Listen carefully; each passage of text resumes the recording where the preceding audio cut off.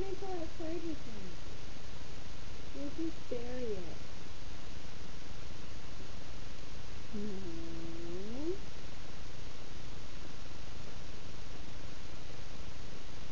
Good girl.